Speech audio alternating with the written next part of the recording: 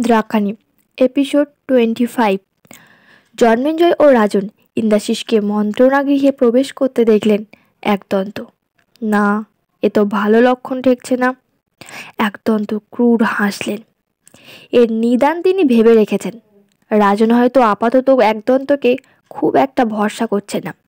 তবে উনি ভরসা করতে বাধ্য হবেন।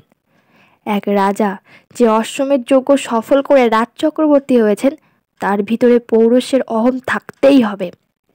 আর সেই অহমে আঘাত হানবে এবার একদন্ত। রাজন জন্মেঞ্জয়কে তারপর কীভাবে বিশ্বাস করে সেটাই দেখবে একদন্ত।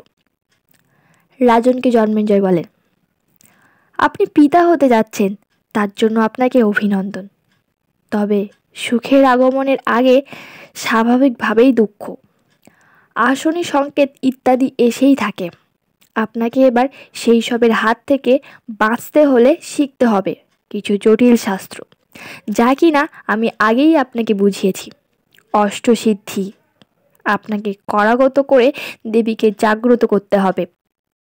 দেবী জাগলেই আসরিক শক্তির সংহার হবে।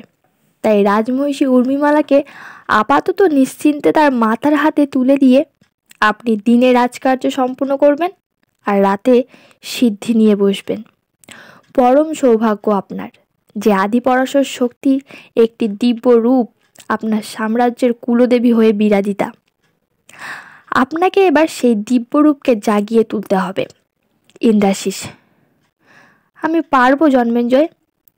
তুমি এ কাজ করতে পারবে না। তুমিও রাজা, তুমি ব্রহ্মজ্ঞানী। তুমি আমার সাম্রাজ্যের জন্য দেবীকে জাগ্রত করো। জন্মেঞ্জয় স্মিত হেসে বলল, রাজন, আপনি এই সাম্রাজ্যের অর্থাৎ পিতা সমান। আপনি না পারলে কেউ পারবে না। আপনাকেই এ কাজ করতে হবে। আজ রাতে আপনি আর আমি বসবো সাধনায়। তৈরি থাকবেন, রাজন। আপনার জন্মকুষ্ঠিতে যে একটি সন্তান যোগ লেখা আছে, সেটা এখন উর্মিমালা দেবীর গর্ভে। তাকে বাঁচাতে হবে আপনাকে। জন্মেঞ্জয় বেরিয়ে যায় মন্ত্রণাগৃহ থেকে। রাজন এটা ভেবেই শিহরিত হন যে আগামী দিনে কি ঘটতে চলেছে। এমন সময় ওখানে উপস্থিত হন কুলপুরোহিত এক দন্ত রাজন, আপনি ভুল পথে হাঁটছেন। দেবীর কোপে এ সাম্রাজ্য ধ্বংস হয়ে যাবে। দেবী দ্রাক্ষানি কোনো শান্ত দেবী নন। তিনি নর রক্তে তুষ্ট হন। আপনি যেটা ভাবছেন বা আপনাকে রাজা জন্মেঞ্জয় যেটা ভাবতে বাধ্য করছেন সেটা অসত্য। নিজের বীজ তিনি রোপণ করছেন আর সেটি আপনার বলে চালিয়ে দিতে চান। আসলে প্রতিশোধ স্মিতা ওনাকে দিয়ে এ অধর্ম করাচ্ছে। রাজন কানে এসে ধাক্কা খেয়ে গেল দুটো শব্দ। প্রথম, বীজ বপন ও দ্বিতীয় প্রতিশোধ। একদন্ত বুঝে গেছেন।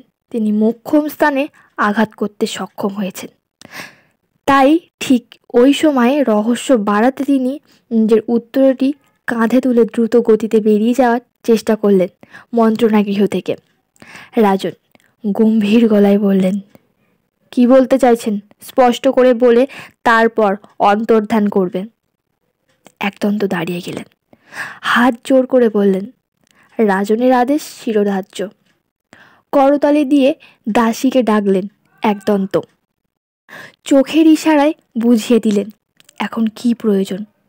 দাসী নিমেষে হাজির হলো। উৎকৃষ্ট সুরাপাত্র নিয়ে।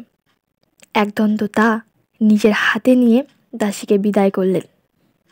রাজন গভীর হয়ে বসে অপেক্ষা করছেন একদন্তের কাছে দুটি শব্দের অর্থ জানার জন্য।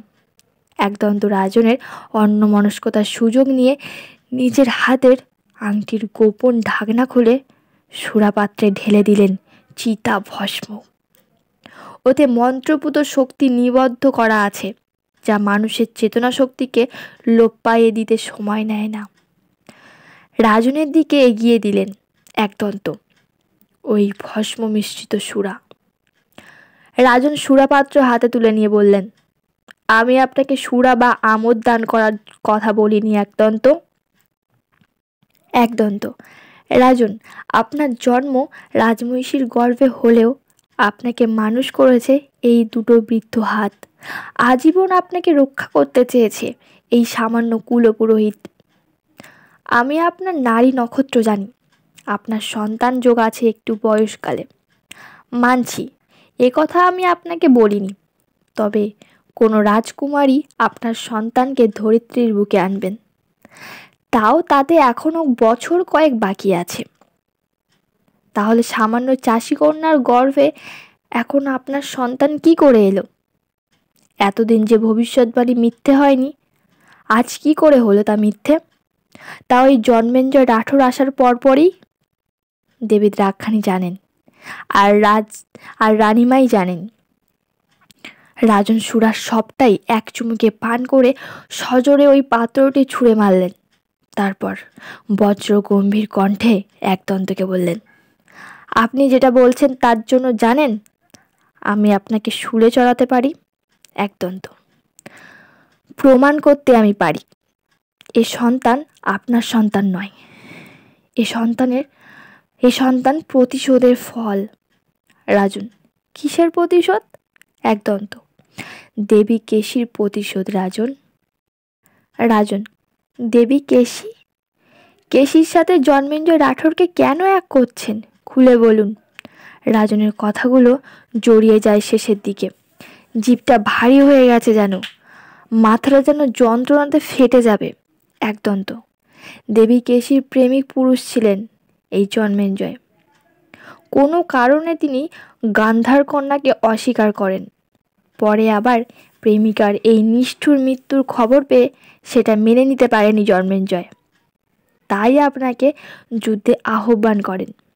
আবার যুদ্ধের শুরুতেই সন্ধি প্রস্তাব দিয়ে এই সাম্রাজ্যের রাজ অতিথি হয়ে আসেন বদলার জন্য।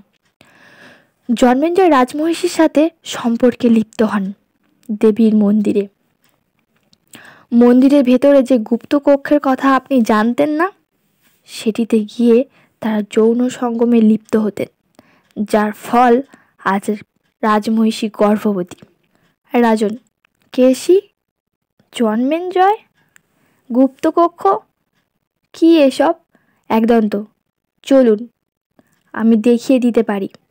বহু যুগ ধরে বন্ধ থাকা সেই গুপ্তকক্ষটি, অভিশপ্ত থাকায় যেটিতে বন্ধ করে দেওয়া হয়েছিল, আপনার দাদা মশাইয়ের আমলে।